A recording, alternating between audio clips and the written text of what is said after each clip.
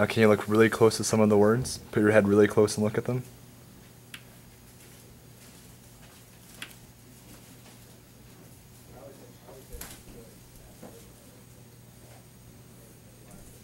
Good.